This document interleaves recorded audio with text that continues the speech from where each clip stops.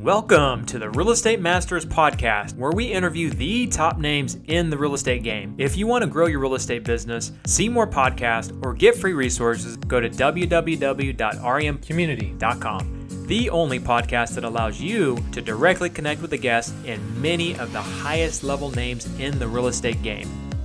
You are in for a treat with our next guest. Do me a favor, subscribe to the podcast, leave us a review, and don't forget to go to remcommunity.com to connect with some of the highest level real estate professionals in the United States through our community and through our high level masterminds. Let's go. All right, welcome to today's show. We have Mr. Robert Syfert. He is an entrepreneur. I love having true entrepreneurs uh, on our show. He has built a lot of businesses through real estate. He's done, done up to a couple hundred deals a year in his real estate investing business. He's uh, transferred into doing software and all kinds of cool stuff we just got done talking about right before we jumped on here. So, welcome, Robert. Thanks for coming on and love to hear all the stuff that you've got going on, man. Yeah, Tony, a pleasure, and thanks for having me on. Um, it's likewise. It's always great to meet anyone with the entrepreneurial mindset because there's not many people that think like us, right? So it's cool to be able to rattle off things fast, and we both get it um, instead of getting the blanks there, like, well, what are you talking about? Um, so yeah, you know, uh, born and raised in the Midwest in the Metro Metro Detroit Motor City area, and started uh, wholesaling. You know, about I don't know, almost almost eight years, seven or eight years ago now. Um, full time, lots of studying before that. So I have the consummate story of uh, study, grew up the right way, and just afraid to go into real estate, so to speak, until I says time. Went all in and a couple hundred deals a year, evolved into um, a couple different business lines, right? I've done wholesaling, I've done rehabbing, turnkey, property management, you name it. Uh, you know, over six, seven hundred doors through my own businesses, and coached and mentored thousands of doors outside of that, um, in all different facets of uh, rehabbing, exiting, turnkey, managing, and property management. Um, then got into software I, I never intended to get into software. I was literally just solving a problem in my own business so that I could scale. I saw the leaky buckets. I knew the things that need to be dialed in and automated, and there really wasn't any technology at the time that I felt did it from a real estate person's perspective. Um, so, and went into a mastermind where that was a shared thought. Like, no, there's, you can't do that. How do you do that? And I had done it for my own business, right? So I spent a lot of money to build out a thing that was going to allow us to scale rapidly and go after the thousand deals a year, you know, and plus. Um, and that never happened because I got finagled, I will say, uh, happy that it happened to me now, but finagled over the last few years to build software for other real estate investors who wanted to scale their business and solve the same problem. So it became a passion, right, over the last few years. That's it. And that's what realestateinvestor.com is, is just providing all the tools, software services, um, coaching, the things that everyone needs when they get started and they're just out there looking for. So I want to cut off the learning curve that I spent doing and just get you right to doing deals, growing and scaling your business, and, and doing it the right way, right? Getting operationally minded, thinking like a CEO and an entrepreneur so you can go do and enjoy life. Like I, I remember reading in your bio, you only spend like maybe five hours a week on your actual real estate business, mm-hmm. right? Which that's that's kind of how I am too. So I, I love being able to go do other things, which as I know you're an entrepreneur, just it opens the door to all the other possibilities that you can go and venture into now and apply that same thing. Yeah, it's interesting. Most companies, I want to say most companies, but a lot of successful companies started somewhere and they either failed at their first thing or several things and ended up getting to something that's really successful or being successful in one thing and taking that success and, and building other things. So um, you know mm-hmm. people think that when they get into real estate that, that like that's like the end game and typically it's not right? It's like there's something else greater bigger better more purpose whatever it is that, that you shift into. So yours was a need for um, helping other your your business to start off and then you realized you could help other businesses as well. So tell us about that transition because that's that's a big transition. Um, you know what was that like? Was it scary? Was it exciting? Was it all the above? And and how did you shift and adapt to that? Because starting a whole new business like i start new businesses now and it's a lot easier than when i started my second business and it was a you know whole new thing to mm-hmm. out. So tell us about that transition and and uh, what you learned from that Yeah, let's start with it's absolutely all of the above. It's scary, it's exciting, it's uh, gets the adrenaline pumping, right? And I love to start things up, so that's the easy part. Um, and taking a step back from that, and then answering your question, uh, true. I actually have had a bunch of failures on the way, right? Um, that led up to me even getting into real estate, which I think kept me gun shy of getting into real estate because I had failed at other entrepreneurial attempts, right? Got got so far and then it imploded and crashed um, and took all those learning lessons, got into real estate. And then as I did that, the first thing that made me a little bit more comfortable, what was scary, was taking on building a property management business. Right, but it was similar. It was just it was just making sure that I was catering to my clients and building the relationships all the way through, and not handing it off to someone else. So that one was less scary. Um, was more facilitated need. The software shift, though, was massive. Right, that was scary, nervous. I spent months um, really debating that no, this is I'm not going to do this. I'm not I'm not I'm not writing a check to go do that. It's a whole other thing I don't understand. Um, I'd have to learn and develop. Um, and then finally, there was I would say there was two things that helped me shift. Um, number one, I'm I'm a big believer in faith. So divinely, I just felt this calling that said, look, this I didn't bring you into real estate to do real estate, which is the only reason I got into real estate, I thought that was it. This is the end for me. I'm just going to do real estate and enjoy my life. And then I just felt this compelling call that, look, you have all these people telling you this is a problem. You have the thing to solve it. That's why you're here. So you have to go do this. Then it helped that I flew out to San Diego, sat down with my developer and another developer that explained um, got it got me a little tutorial in what software means and MRR and all these fancy terms, but essentially, hey, this is what the end picture looks like. This is an exit of a business, and it can be massive in software. And I was like, wow, so I can help thousands and millions of people, and I can also profit my family in a way I never even considered before. So the two combined made a whole lot of excitement, and again, super scary. But I've been there before, right? Like I've written the checks for coaches in the past, which were scary um, but I learned from those previous endeavors, and what helped me shift this time was, you know, I, I, I and now I live more by a model, right? If I if it's something I'm afraid of, that's absolutely what I'm probably called to do. Um, so I I faced that fear right in its face, and I wrote the big check to start the company, and then it became a spiraling event. So it's been a shift and shift leading up to even this year, moving forward with things we're going into 2021. Um, what I found is just like you though, I've now I can I can uh, instead of it taking me months or weeks to harness that scare and excitement and things, I'm I'm pretty good about being able to focus on that right away and um, being able to go right into it. But I've also learned a lot along the way, right? So I think facing your fears at every endeavor helps you build experiences that you can do that that allow you to do it more and more and more. Mm-hmm. And would you, I'm sure you're this way too. So like for my first business is real estate investing. That's what my core business is. I still do that. I still, you know, love it to a point and it helps people, you know, it helps sellers, it helps, you know, buyers get into nice homes. We do, we, we have a good staff. So there's, there's some fulfillment in that, but it's limited. Right. So for mm-hmm. you, like the software business, now you're, you're influencing hundreds, thousands, potentially millions of people with that software. And so anything that I do now, it seems like it's it kind of needs to be the same way. It's like i need to feel more fulfilled doing it. I need to help people.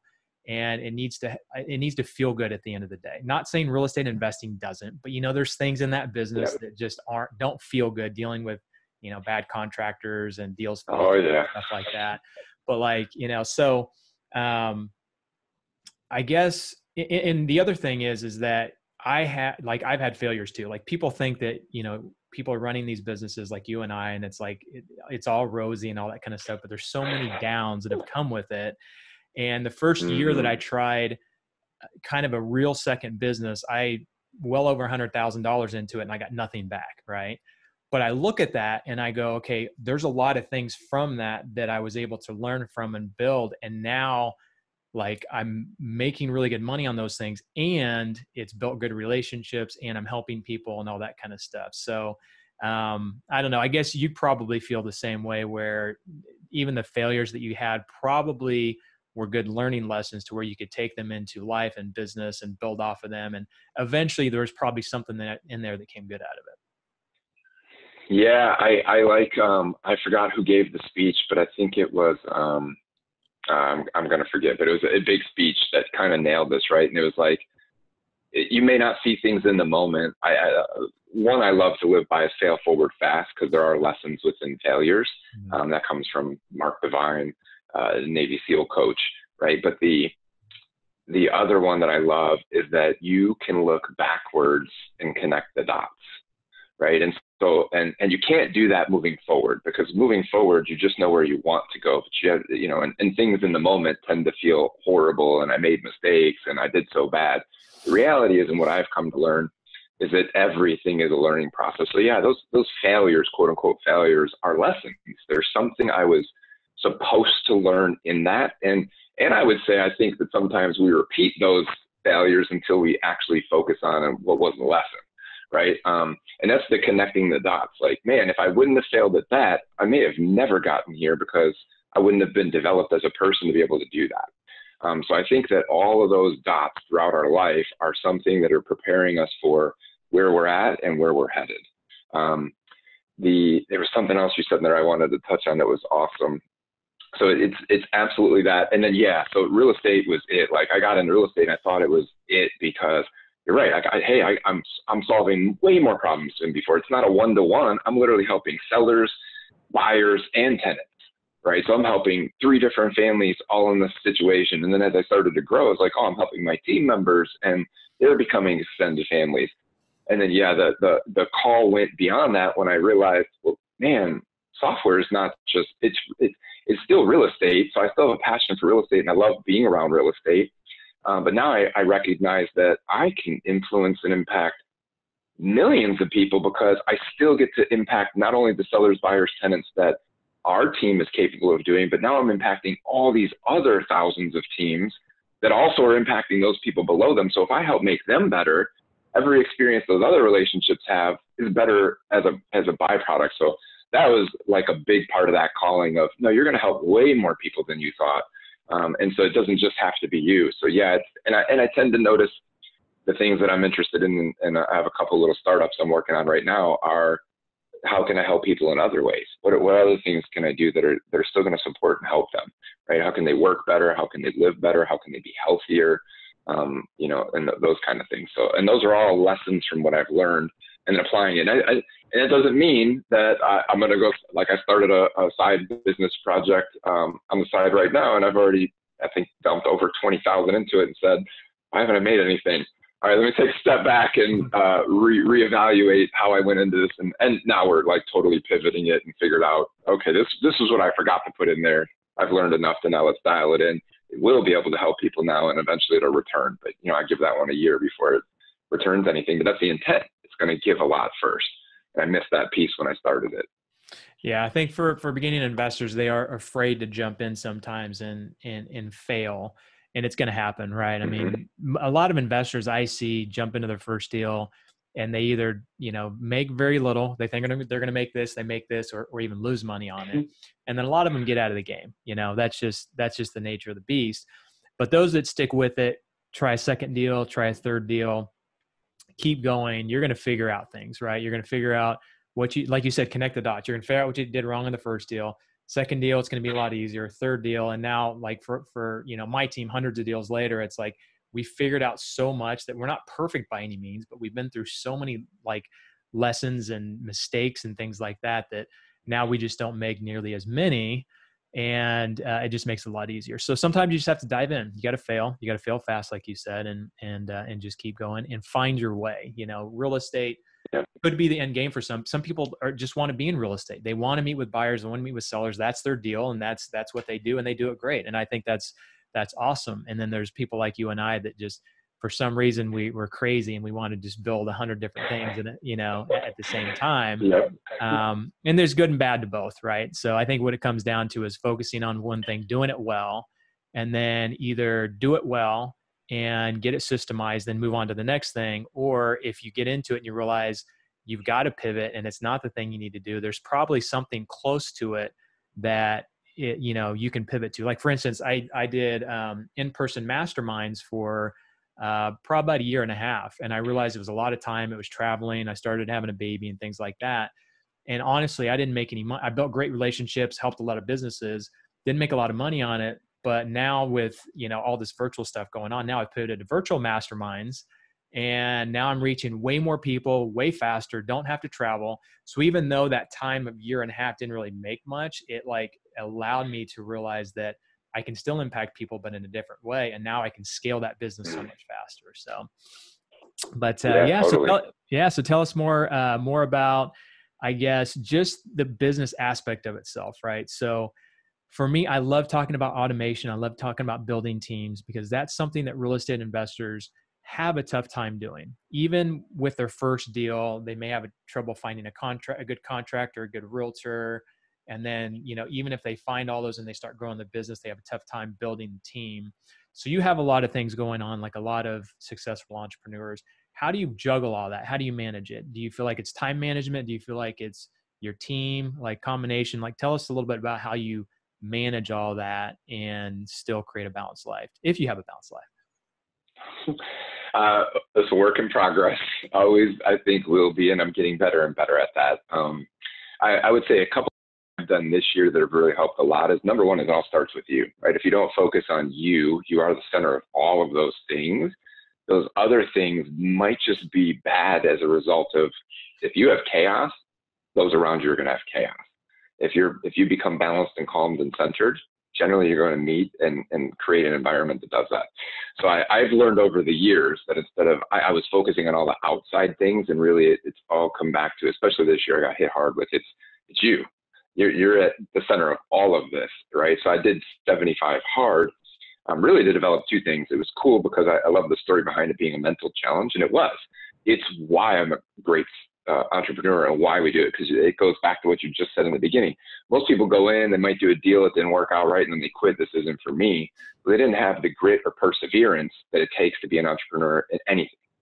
So number one, that's it. You did it. Do you know how many people? Like I spent a decade studying every book there was, Rich Dad Poor Dad, went to the seminars, paid for the classes, and was just so afraid to make a mistake.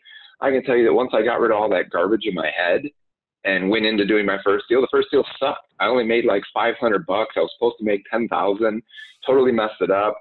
I should have quit at that point if I was one of those people. But I also said, man, all the book taught me was a whole bunch of language. The reality of doing a deal taught me more than any of the 10 years of study that I had about real estate. And so then, and then to your point, the next deal got a little easier and I made a little bit more the next deal. And then wow, it just started to spiral and had a momentum. But it all comes back to I had perseverance and grit to just, it's okay if it sucks in the beginning. Everything you do in the beginning, the first time, is going to suck until you get better at it. It doesn't matter what it is. Play a sport, you have to continue to do it and build experience.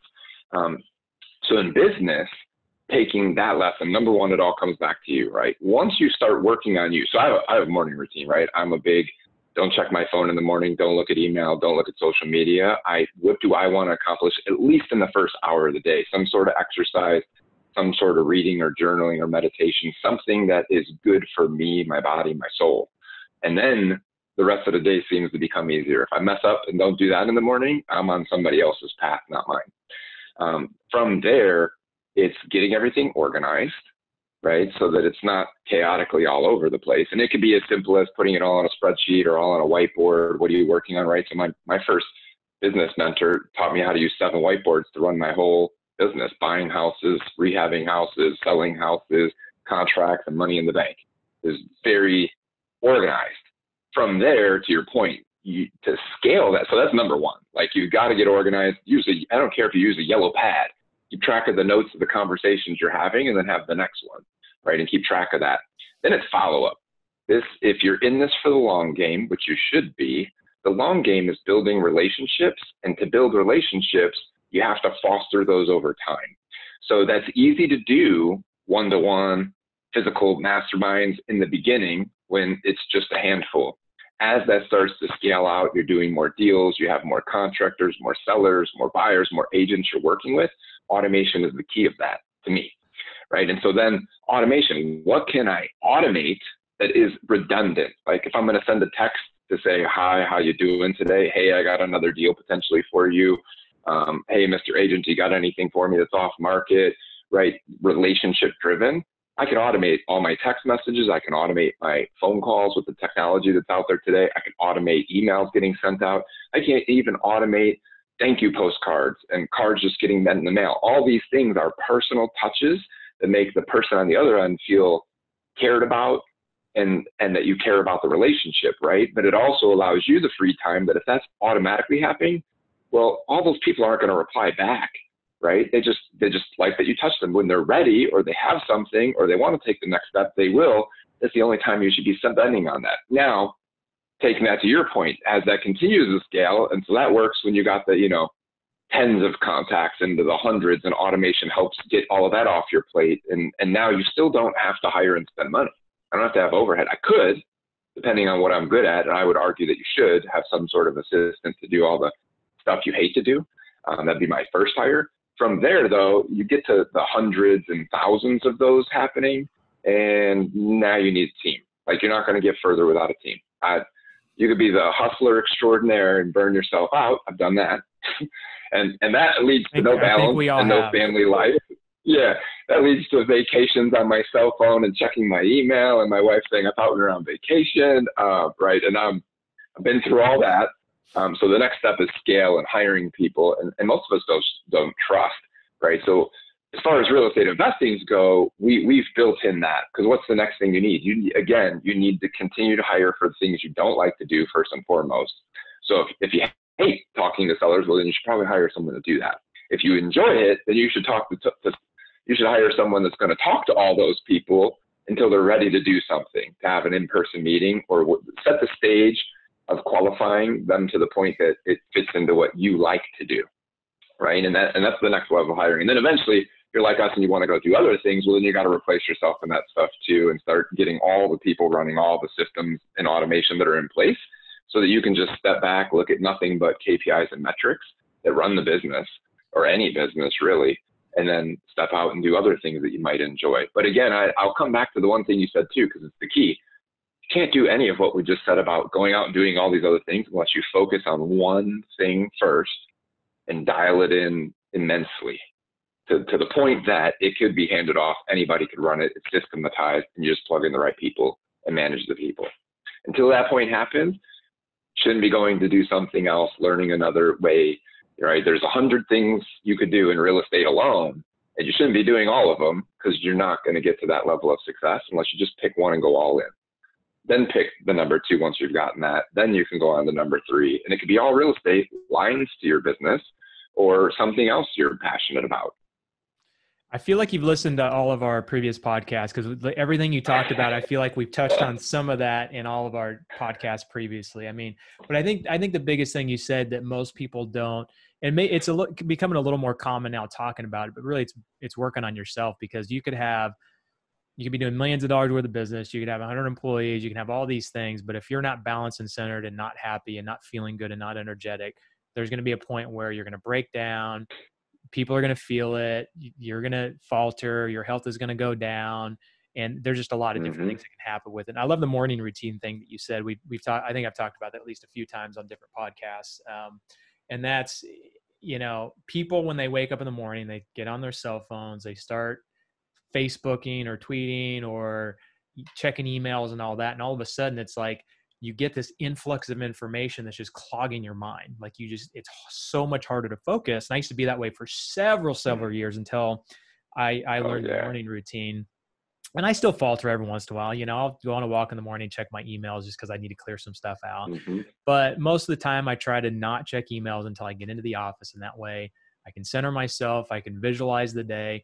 And the thing that most people don't realize is that you could be one really, just one good decision away from taking your life and your business in a different direction. You know, whether that's, you know, you talk about building relationships, you could meet that person that, you know, maybe you wouldn't have met had you not just stepped back and said, Hey, I need to find someone good for whatever it is, a marketing plan or something like that um, there's so much time and, and there's i think there's a book on it that, that says that um, they studied for every minute that you plan up to a certain point of course if you plan all day you're not going to get anything done but most of the time when you plan something you get that time back about two to th- two to three times in return So for every minute you plan, you get about three times in return because you do it more effectively, you do it more efficiently, you think through it better um, instead of just diving in and and and just going 100 miles an hour like a lot of a lot of people do. So I think that was really important. That was um, that was that was good uh, good thoughts there. So what's next for you? Like you know you've got all of these things going on. Do you? I know even a year from now can be way different. Like for me, it's like last year was way different than even this time this year. There's so many different cool things going on that I've that I've you know jumped into do you kind of have a little bit of a vision of where you want to end this like do you like for some people it's build it and then sell it and make you know millions or tens of millions or whatever the number is and just retire and whatever um, i have a feeling you're going to say you're not going to do that because you want to you know want to continue to work and build for the rest of your life but i don't know what does it look like for you kind of 5 10 15 even 20 years down the road do you know Whew. Uh, yeah, I know some of that. Um, I, I'm the big, you know, 20 down, 20 years down the road, I just know it'll be completely different than anything I could imagine today, right? So it's hard for me to look out that far. Um, but I, but I still like to have those pie in the sky dreams, um, and they'll change over time, right?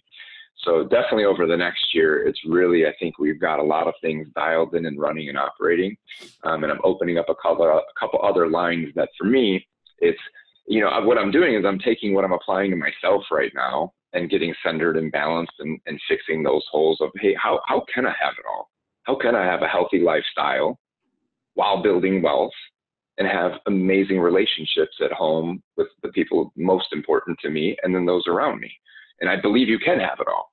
Um, and so I'm, that's my path, right? And so I've, I've spent a lot of time on getting all my time back over the last couple of years, and now I feel like I'm in a really good place that I can I can clearly see the work I just need to do daily to make sure that starts to get cemented as a new habit, pattern, and result. Um, I I envision over the next five years, maybe somewhere between the next five and ten years, there's a big potential um, with where we're headed. So the focus over the next year is we we got a couple other very big plans with realestateinvestor.com and problems we're going to really solve for people in a way that no one's ever done in our industry, which is our vision right? We want to help millions of people, and there are millions in real estate alone.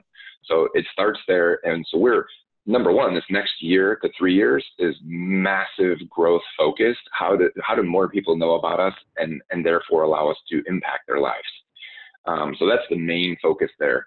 Um, definitely can see over the next five to 10 years that there being an exit um, potentially as we develop this amazing platform within the real estate space there's probably someone way bigger than us that is going to love the way we've perfectly dialed this in, that they're just going to want to take it and replace whatever they have, they have. So we definitely see that. That's the that's the company and my vision with that company. Um, but to your point, it doesn't matter what that check is. I'm I'm very aware of the fact that isn't going to stop.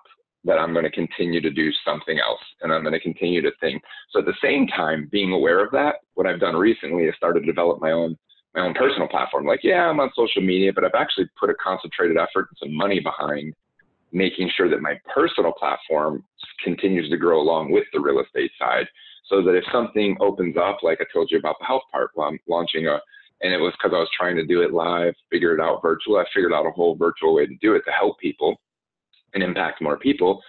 That's going to grow. And, it's, and I don't envision exiting that. That's just something, it's a passion project. It's, I believe everything comes down to our health which starts in our mind.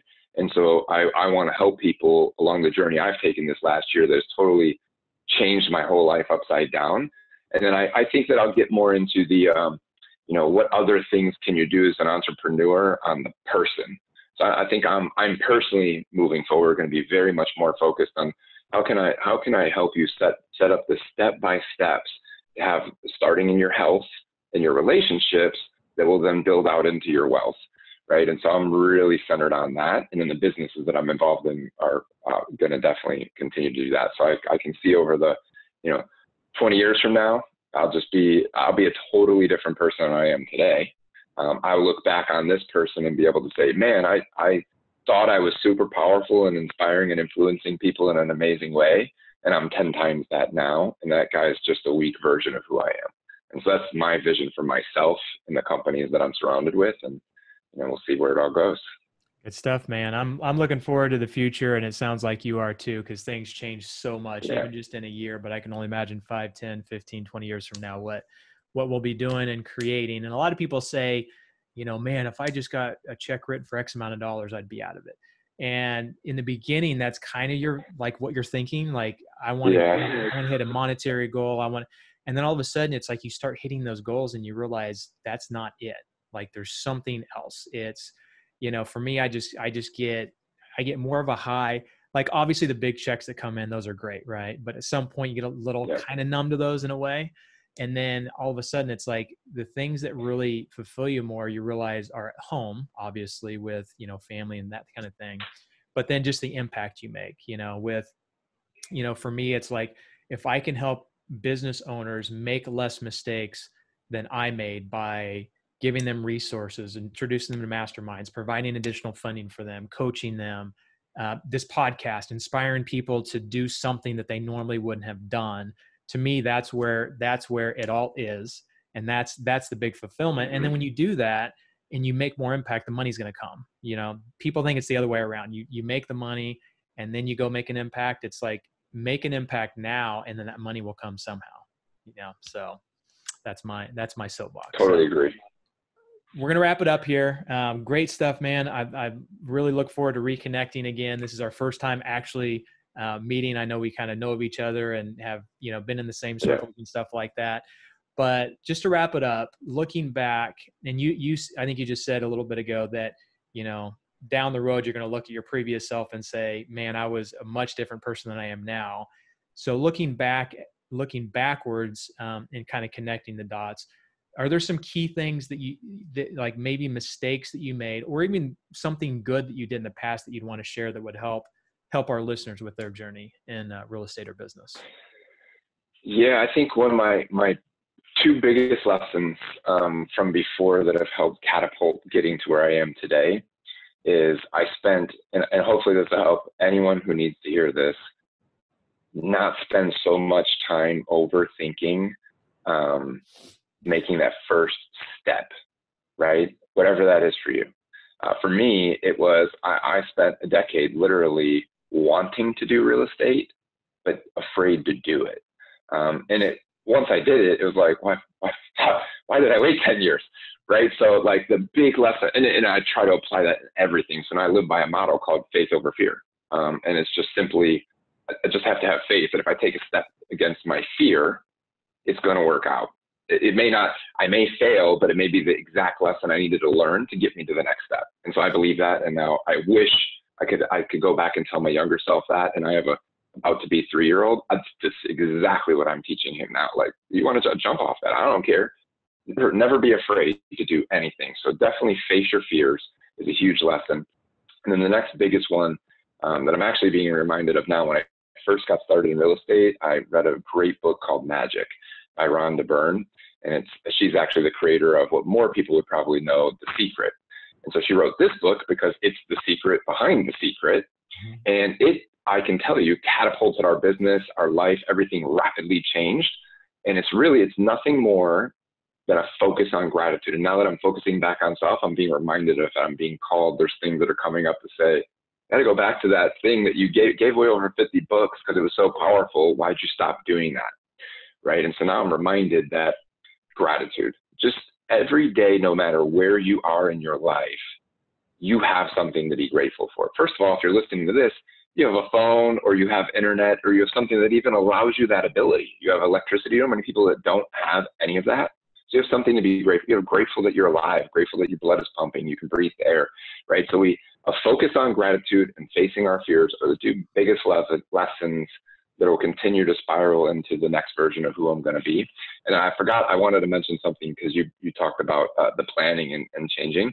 There's an awesome motto I, I love to live by, and I, I have people that help plan, right? But the seven P's the Navy SEALs live by: uh, proper prior planning prevents piss poor performance because mm. it changes everything. Yep, yep. But just like you said, remember there's analysis paralysis too. Sometimes you have to jump in and learn, and so there's that there's that yeah, fine yeah. line between planning too much and not taking action. So you you'll you'll find yeah, that ready ready ready fire. What's that? Yep, it's a uh, uh, ready fire aim. Yep, that's the way I am. Aim Yep. Totally, totally. Yep. Well, cool. It was good connecting, man. It was good to seeing all the stuff you've got going on. I Look forward to reconnecting. Uh, we'll put a link down below. Um, Robert also has a what do you call it? A marketplace for real estate investors that you're um, kind of have together, getting ready to launch. That has a lot of cool tools and resources and things like that for real estate investors. So I'll put a, a link below for that. And uh, appreciate it, Robert. And hopefully yeah. the uh, listeners got some good stuff you, from you, which I know they did because I did too. And uh, we'll look forward to uh, connecting soon. Awesome. Thanks, Tony. It was a pleasure. Yeah, me too. Have a good one. Thanks for listening. Now go to www.remcommunity.com to connect with today's guest, see our high level masterminds, and to get free resources. Don't forget to share this with a friend and leave us a five star review. We'll see you on the next episode.